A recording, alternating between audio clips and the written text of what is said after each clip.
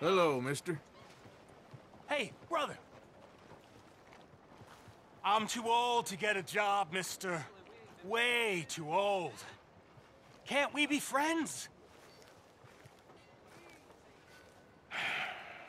Sure. I'm so happy. I ain't had a friend in a long time. Long, long time. My last friend died. Weren't my fault. They said it was, but they was wrong. It's fun being with you, mister. Can I hold you a second, mister? Can I?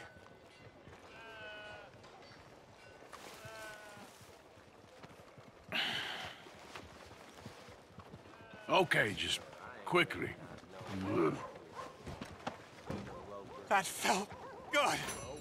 It's nice to be held sometimes. Oh, we used to hold each other in the war. You got sad eyes, mister. Like you've seen sad things. Remember with kindness.